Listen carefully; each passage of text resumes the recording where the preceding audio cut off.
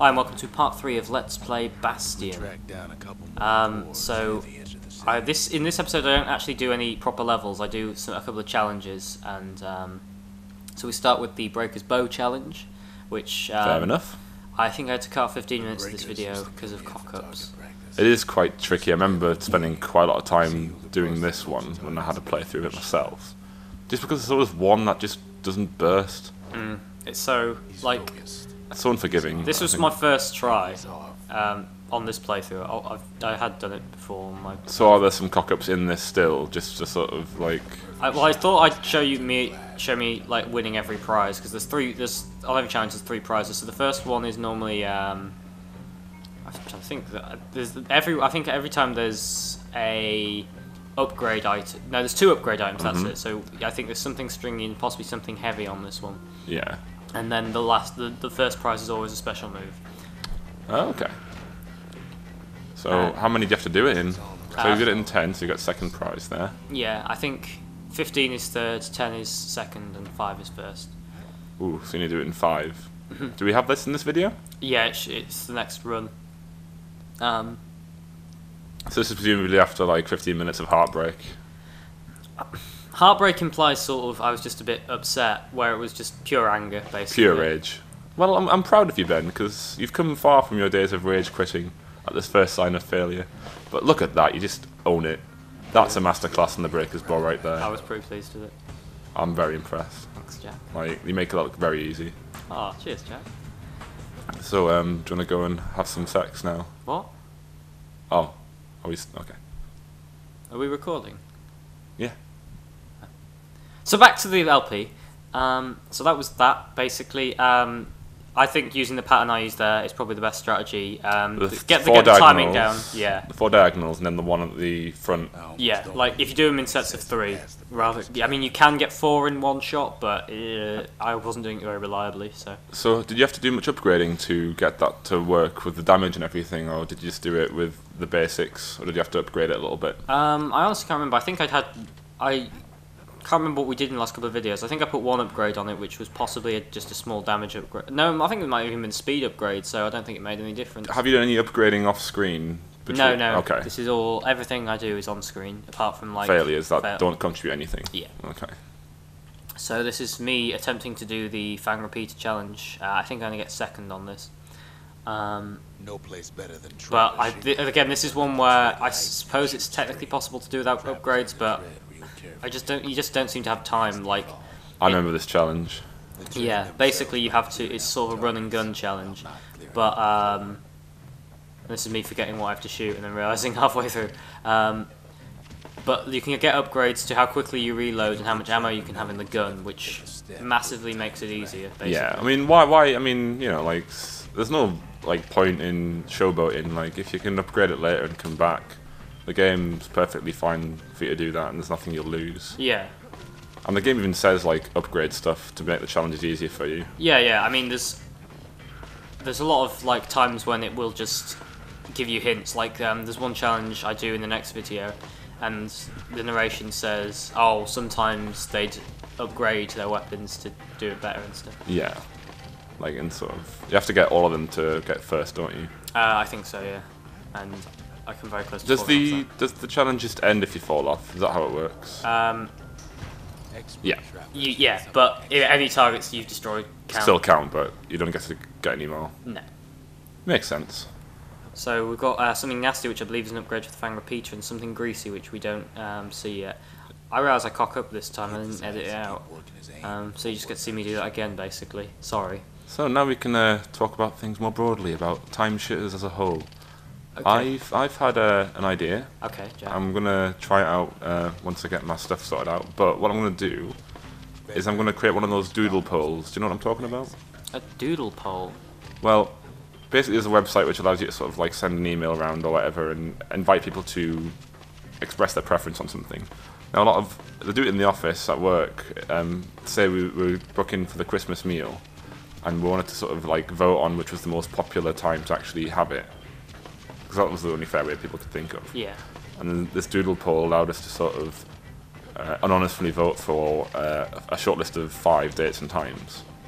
So I'm thinking I'll just shortlist maybe five Xbox 360 games I think I could do, and see what people like the best. Sure. I mean, I've not decided what the shortlist is yet, but I'm thinking one of them would be like the 40 wave survival run of Plants vs Zombies. Oh yeah. Could do that. Um, if you're willing to wait until next month, I could do, I don't know, maybe the first. I could do a fractional LP of Skyrim, see what people think. I could Oh, do it that'd be blind. I've, I've pre-ordered that, so that would be interesting for people Definitely. to see. Um, and I'll, I'll pick three more. I might do Orcs Must Die. I've heard that's pretty popular. Not played it yet, but I could do a blind one of that. So yeah, I'll send out a. I'll send out a doodle poll once I've uh, figured out what my uh, ideas are. Fantastic.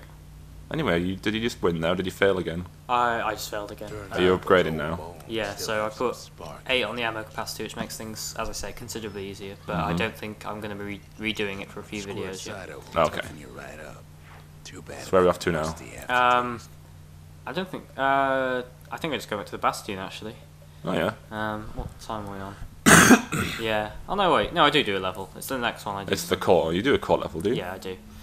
Um, okay, well, I, I look forward to seeing that. Um, I mean, one thing, there's a couple of games I do want us to do like a live recording of. Like, I think doing uh, Eternal Darkness would work well live because uh, it's a horror game. It's a horror game. So- horror game. You get the real reactions, things like that. yeah.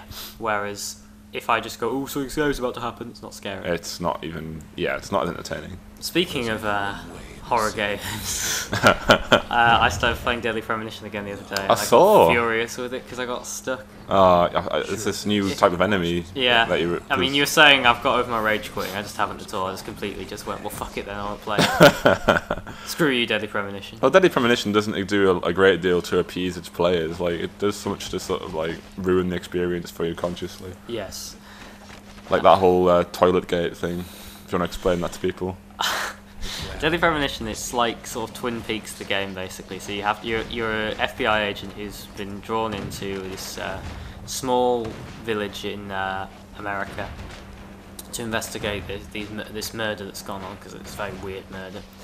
And um, about it's separated into chapters and the end of chapter two you discover uh, the second murder and at the end of every chapter you get a summary screen of how well you did and your statistics and stuff. and there's always like a freeze frame in the background which sums up the chapter. And for chapter two they just chose a freeze frame of someone throwing up in a toilet bowl. And that's I mean that just sums up Deadly Premonition perfectly. You're, you're almost getting into it and taking it seriously, and then you just get some nonsense like that. Yeah. Uh, so here we get a new weapon. We get the scrap musket, which is basically a shotgun, really. Yeah, it's got like that spread. It's just a bit of a meaty blunderbuss type thing. Yeah. Uh, so as expected, it does more damage at close range. Uh, Good for these taking care of groups of these uh, squirt things. By the looks of it. it's not too bad actually. I like. I like. I think I use it more in this playthrough than I did on my own first playthrough. Um, So have you made a conscious effort whilst playing to try and include like different weapons? Because I, I personally, I have to admit, I stuck to like the same combo pretty much unless I needed to change. Yeah, well, I'm, I'm trying to show everything off at least a couple of times. I mean, as I say, I don't use the bull shield very much. Although I do plan to do every challenge on, for, like, golding it, as it were. hmm So, We'll see that at some point. yeah, you should see me using every weapon to a reasonable degree. I mean, I do the musket challenge in the next video, but um, Out of challenge, out of, out of challenge, out of interest. Like, have you done the Bullhead Shield challenge yet? no, I mean, you don't unlock it till quite late on. Even though, Have you ever done it? Oh, no, I've never firsted it. uh, well, Uh, I've only tried a couple of times. To yeah. I, I realise that like during your first playthrough, you don't obsess over everything. No. But like, I'll be interested to see like how your attempts at golding it improve your understanding and appreciation of the Bullhead Shield because you didn't seem to uh, appreciate it in the last, uh, the first video even. No. But we'll Um, see. We'll see how your someone- hardships. You, you linked it on Facebook and someone commented on uh, how we left them on a cliffhanger as to Yeah. whether, I, whether I will ever warm to the Bullhead Shield. I think that is something worth sticking around for.